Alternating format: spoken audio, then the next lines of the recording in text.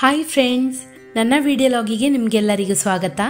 ಇವತ್ತು ನಾನು ತಂಜಾವೂರಿನ ಬೃಹದೀಶ್ವರ ದೇವಾಲಯದಲ್ಲಿದ್ದೇನೆ. ತಂಜಾವೂರು ತಮಿಳುನಾಡಿನ ಒಂದು ಐತಿಹಾಸಿಕ ಪಟ್ಟಣ.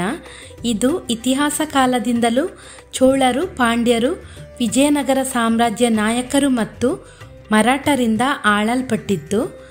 ಇದು ದಕ್ಷಿಣ ಭಾರತದಲ್ಲಿ ಧರ್ಮಕಲೆ ಹಾಗೂ ಶಿಲ್ಪಕಲೆಯ ಅತ್ಯಂತ ದೊಡ್ಡ ಕೇಂದ್ರವಾಗಿದೆ. ಇಲ್ಲಿರುವ ಬೃಹದೀಶ್ವರ ದೇವಾಲಯವು ವಿಶ್ವ ಪರಂಪರೆಯ ಪಟ್ಟಿಯಲ್ಲಿ ಸ್ಥಾನ ಪಡೆದಿದೆ. ತಂಜಾವೂರು ಶಿಲ್ಪಕಲೆ ಎಂಬ ಪ್ರಕಾರವೇ ಇಲ್ಲಿ ಬೆಳೆದು ಬಂದಿದೆ.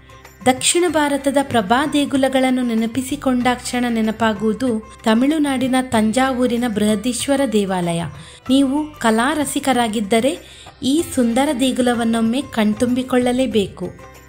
ಕ್ರಿಸ್ತಶಕ ಸಾವಿರದ ಹತ್ತರಲ್ಲಿ ಒಂದನೇ ರಾಜರಾಜ ಚೋಳನು ನಿರ್ಮಿಸಿದ ದೇಗುಲ ಇದಾಗಿದೆ.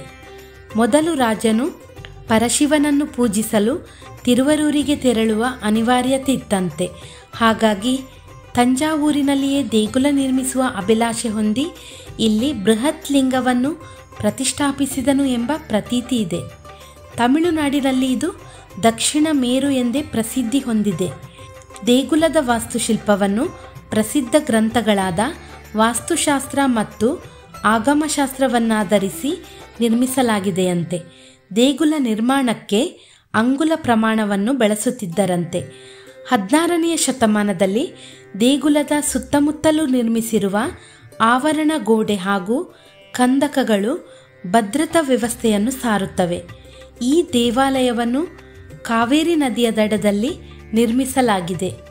ಇಡೀ ದೇಗುಲವನ್ನು ಕ್ರಿಸ್ತಶಕ ಸಾವಿರದ ನಾಲ್ಕರಿಂದ ಸಾವಿರದ ಒಂಬತ್ತರ ಅವಧಿಯಲ್ಲಿ ಸಂಪೂರ್ಣವಾಗಿ ಶಿಲಮಯವಾಗಿಯೇ ನಿರ್ಮಾಣ ಮಾಡಲಾಗಿದೆ. ದೇಗುಲದ ಸುಮಾರು ಹದಿನಾರು ಅಡಿಗಳಷ್ಟು ಎತ್ತರದ ಪಂಚಾಂಗದಲ್ಲಿ ದೇವತೆಗಳ ಹಾಗೂ ನಟರಾಜನ ಗಣಗಳ ಕೆತ್ತನೆಗಳನ್ನು ಕಾಣಬಹುದು. ಗೋಪುರದ ಶಿಖರದಲ್ಲಿರುವ ಕಲಶವು ಎಂಬತ್ತೊಂದು ಪಾಯಿಂಟ್ ಇನ್ನೂರ ಎಂಬತ್ನಾಲ್ಕು ಟನ್ಗಳಷ್ಟು ತೂಕದ್ದು. ಎಂಟು ಶಿಲೆಗಳ ಜೋಡಣೆಯಿಂದ ನಿರ್ಮಾಣಗೊಂಡಿದೆ. ಇಲ್ಲಿನ ಒಂದೊಂದು ಕಲಾಕುಸಿರಿಗಳು ಶಿಲ್ಪಿಯ ಕಲಾ ನೈಪುಣ್ಯತೆಯನ್ನು ಸಾರುತ್ತವೆ.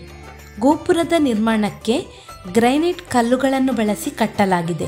ಇಲ್ಲಿ ಮಣ್ಣು, ಸಿಮೆಂಟು ಸ್ವಲ್ಪವೂ ಬಳಕೆ ಮಾಡಿಲ್ಲ. ಗುಡಿ ಸುತ್ತ ನಿರ್ಮಾಣಕ್ಕೆ ಒಂದು ಲಕ್ಷ ಇಪ್ಪತ್ತು ಸಾವಿರ ಟನ್ ಗ್ರೈನೇಟ್ ಅನ್ನು ಉಪಯೋಗಿಸಲಾಗಿದೆ. ಇಲ್ಲಿ ಆಶ್ಚರ್ಯ ಪಡುವ ವಿಷಯವೇನೆಂದರೆ ತಂಜಾವೂರಿನ ಸುಮಾರು ನೂರು ಕಿಲೋಮೀಟರ್ ಒಳಗಡೆ ಎಲ್ಲಿಯೂ ಗ್ರಾನೈಟ್ ಕಲ್ಲುಗಳು ಸಿಗುವುದಿಲ್ಲ. ಆದರೆ ಇಷ್ಟು ಸುಂದರವಾದಂತಹ ಗ್ರಾನೈಟ್ ಕಲ್ಲುಗಳನ್ನು ಎಲ್ಲಿಂದ ತಂದು ಕಟ್ಟಿರಬಹುದು ಎನ್ನುವುದೇ ಸಂದೇಹ. ಅಂದಿನ ಕಾಲದಲ್ಲಿ ಯಾವುದೇ ಆಧುನಿಕ ಯಂತ್ರಗಳ ನೆರವಿಲ್ಲದೆ ಈ ಶಿಖರದ ನಿರ್ಮಾಣವನ್ನು ಹದಿಮೂರು ಅಂತಸ್ತು ಎತ್ತರದಲ್ಲಿ ಹೇಗೆ ಕಟ್ಟಿರಬಹುದು ಎಂಬುದು. ಇನ್ನು ಆಧಾರಕ್ಕೋಸ್ಕರ ಎಷ್ಟೋ ವರ್ಷಗಳು ಆರು ಕಿಲೋಮೀಟರ್ ದಾರಿ ನಿರ್ಮಾಣ ಮಾಡಿದ್ದರು ಮಣ್ಣಿನ ಇಳಿಜಾರನ್ನು ಕೃತಕವಾಗಿ ರಚಿಸುವ ಮೂಲಕ ಅದರ ಮೇಲೆ ಕುದುರೆ ಮತ್ತು ಆನೆಯ ಸಹಾಯದಿಂದ ಗೋಪುರದ ಕಳಶವನ್ನು ಇಟ್ಟಿದ್ದಾರೆ ಎನ್ನುವುದು ವೈಶಿಷ್ಟ್ಯವೇ ಸರಿ. ಇನ್ನು ಏಕಶಿಲೆಯಲ್ಲಿ ನಿರ್ಮಿಸಲ್ಪಟ್ಟಿರುವ ಕೃಷ್ಣ ವರ್ಣದ ಬೃಹತ್ ನಂದಿಯು ಎರಡು ಮೀಟರ್ ಎತ್ತರ, ಆರು ಮೀಟರ್ ಉದ್ದ, ಎರಡೂವರೆ ಮೀಟರ್ ಅಗಲ ಹಾಗೂ ಇಪ್ಪತ್ತು ಟನ್ ಭಾರವುಳ್ಳದ್ದಾಗಿರುತ್ತದೆ ನಂದಿ ವಿಗ್ರಹದ ಮೇಲ್ಛಾವಣಿಯಲ್ಲಿರುವ ಚಿತ್ರಕಲೆಯು ಇತ್ತೀಚೆಗಷ್ಟೇ ಮಾಡಿದ ರೀತಿಯಲ್ಲಿದೆ. ಆದರೆ ಇದು ಆಗಿನ ಕಾಲದಲ್ಲೇ ಮಾಡಿದ ಚಿತ್ರಕಲೆಯಾಗಿದೆಯಂತೆ ಅದಕ್ಕೆ ಆಗಿನ ಕಾಲದಲ್ಲಿ ಯಾವ ರೀತಿಯ ಬಣ್ಣವನ್ನು ಬಳಸಿದ್ದರು ಎನ್ನುವುದು ಇಂದಿಗೂ ತಿಳಿಯದಿರುವ ಸಂಗತಿ. ಪ್ರಧಾನ ದೇವಾಲಯವು ಅತ್ಯಂತ ವಿಶಾಲವಾದ ಪೂಜಾ ಗ್ರಹವನ್ನೊಳಗೊಂಡಿದೆ ಅತ್ಯಂತ ಮಹತ್ವದ ಭಾಗವೆಂದರೆ ಒಳಭಾಗದಲ್ಲಿರುವ ಮಂಟಪ ಭಾಗವು ದೊಡ್ಡ ದೊಡ್ಡ ಗೋಡೆಗಳಿಂದ ಆವರಿಸಲ್ಪಟ್ಟಿದೆ. ಅತ್ಯಂತ ಮೊನಚಾಗಿ ಕೆತ್ತಲ್ಪಟ್ಟ ಗೋಡೆಗಳ ಮೇಲಿನ ಕಲಾಕೃತಿ ಆಳವಾದ ವಿಚಾರಕ್ಕೆ ತಳ್ಳುವ ಭಾವನಾ ಸ್ಪರ್ಶವನ್ನು ಹೊಂದಿದೆ.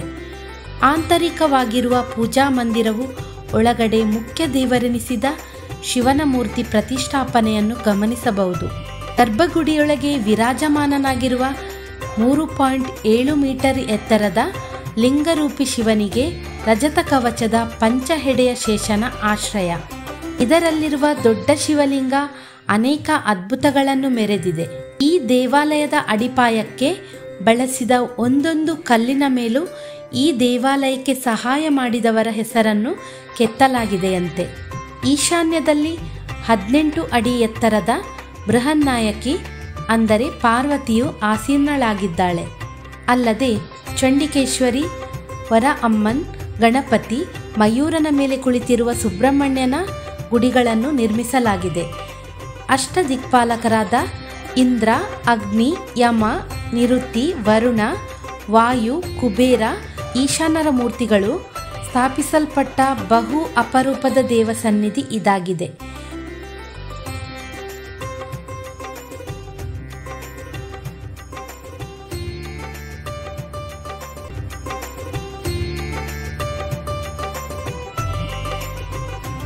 ಇಲ್ಲಿ ಇರುವಂತಹ ಎಲ್ಲ ಕೆತ್ತನೆಗಳು ಎಷ್ಟೊಂದು ಸೂಕ್ಷ್ಮವಾಗಿ ಕೆತ್ತಿದ್ದಾರೆ ಎಂದರೆ ಅದರಲ್ಲಿ ಸಂದುಗಳನ್ನು ಕೆತ್ತಿರುವುದನ್ನು ಕಾಣಬಹುದಾಗಿದೆ.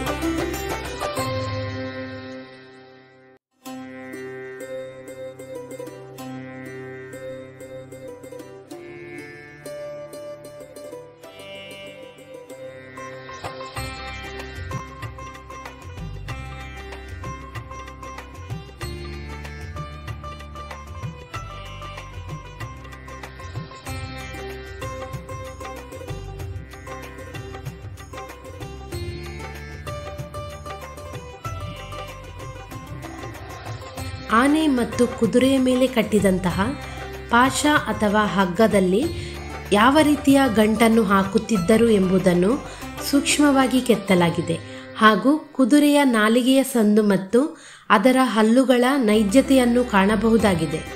ಗೋಡೆಗಳಲ್ಲಿ ತಮಿಳುನಾಡಿನ ಸಾಂಪ್ರದಾಯಿಕ ಕಲೆಯಾದ ಭರತನಾಟ್ಯದ ನೂರ ಎಂಟು ಕರಣಗಳನ್ನು ಶಿಲೆಯಲ್ಲಿ ಕೆತ್ತಲಾಗಿದೆ.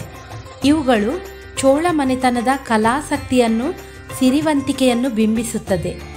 ತಂಜಾವೂರಿನಲ್ಲಿರುವ ಈ ಬೃಹದೀಶ್ವರ ದೇವಾಲಯವನ್ನು ಜನಪ್ರಿಯವಾಗಿ ಅತಿ ದೊಡ್ಡ ದೇವಾಲಯ ಎಂದು ಕರೆಯುತ್ತಾರೆ. ಬೃಹದೀಶ್ವರ ದೇವಾಲಯದಲ್ಲಿ ನಮಗೆ ತಿಳಿಯದ ಒಂದು ವಿಶೇಷತೆಗಳು ಏನೆಂದರೆ, ಗೋಧೂಳಿಯ ಸಮಯದಲ್ಲಿ ಈ ದೇವಾಲಯದ ಛಾಯೆಯು ಕಾಣಿಸುವುದಿಲ್ಲ. ವರ್ಷದ ಉದ್ದಕ್ಕೂ ಯಾವ ದಿನವೂ ಸಂಜೆಯ ಸಮಯದಲ್ಲಿ ದೇವಾಲಯದ ನೆರಳು ಭೂಮಿಯ ಮೇಲೆ ಬೀಳದೇ ಇರುವುದು ಬಗೆಹರಿಸಲಾಗದ ರಹಸ್ಯವಾಗಿಯೇ ಉಳಿದಿದೆ. ಶಾಸ್ತ್ರ ಪರಿಶೋಧಕರು ಪುರಾತತ್ವ ಶಾಸ್ತ್ರಜ್ಞರು ಯಾವ ರೀತಿ ನೋಡಿದರೂ ಕೂಡ ಉತ್ತರ ಮಾತ್ರ ಅವರಿಗೆ ಸಿಕ್ಕಿಲ್ಲ. ಈ ದೇವಾಲಯದ ದೊಡ್ಡ ಗೋಡೆಗಳ ಮೇಲೆ ತಮಿಳು ಮತ್ತು ಗ್ರಂಥಲಿಪಿಗಳನ್ನು ನೋಡಬಹುದು. ಈ ಲಿಪಿಗಳಲ್ಲಿನ ಸಾಂಪ್ರದಾಯಿಕ ಸಾಹಿತ್ಯ, ರಾಜನ ಕುರಿತು ಮಾಹಿತಿ, ಇವರು ದೇವಾಲಯಕ್ಕೆ ನೀಡಿದ ಕೊಡುಗೆಗಳ ಕುರಿತು ಕೂಡ ಉಲ್ಲೇಖಿಸಲಾಗಿದೆ. ಅವರು ಬಳಸುತ್ತಿದ್ದ ವಿವಿಧ ರೀತಿಯ ಆಭರಣಗಳ ಕುರಿತು ಕೂಡ ಗೋಡೆಯ ಮೇಲೆ ಬರೆಯಲಾಗಿದೆ. ಅವರು ಹನ್ನೊಂದು ಬಗೆಯ ವಜ್ರಗಳು ಮತ್ತು ಇಪ್ಪತ್ತ್ಮೂರು ಬಗೆಯ ಮುತ್ತುಗಳನ್ನು ಆಭರಣಗಳಲ್ಲಿ ಬಳಸುತ್ತಿದ್ದರೆಂಬ ಉಲ್ಲೇಖ ಈ ಗೋಡೆಯ ಮೇಲಿದೆ. ಇನ್ನು ದೇವಾಲಯದ ಸುತ್ತಲಿರುವ ಮೂರೂ ಬದಿಗಳಲ್ಲೂ ವಿವಿಧ ಬಗೆಯ ಲಿಂಗಗಳನ್ನು ಮತ್ತು ಆಗಿನ ಕಾಲದ ಶಿಲ್ಪಕಲೆ ಮೂರ್ತಿಗಳನ್ನು ಕಾಣಬಹುದಾಗಿದೆ. ಒಟ್ಟು ಇನ್ನೂರ ಹದಿನೈದು ಶಿವಲಿಂಗವನ್ನು ಸ್ಥಾಪಿಸಿದ್ದಾರೆ.